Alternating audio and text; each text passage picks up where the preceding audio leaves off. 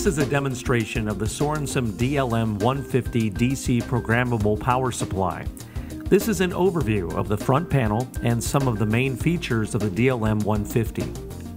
Press the power button and you will see that the LED is lit and the fan is turning on. This startup operation usually lasts for about 5 to 10 seconds. The OVP set is a low potentiometer, which you can adjust to set your overprotection value.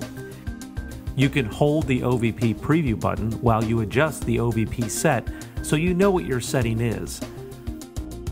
The OVP LED is lit when you reach your OVP set point and the unit goes to full protection mode.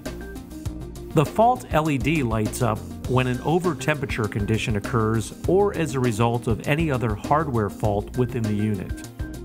The external off LED lights up when you send an external shutdown signal, usually from a remote interface such as GPIB, Ethernet, or through an RS-232 interface. The remote LED is lit up when you're not controlling the unit from the front panel Instead, you're controlling it through a remote interface on the rear panel through the GPIB, Ethernet, or RS-232 interface. Press the local remote button to switch between local or remote control.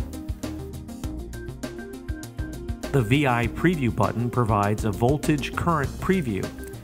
When you press it and adjust the voltage and current knob, you can see what your set point is before the actual output is turned on. If you press the output button, you can view your set point. As you can see, we now have 0 amps since we don't have output and we don't have a load hooked up to the unit. Once you set up the load and output, you should be getting what the load is pulling around that value.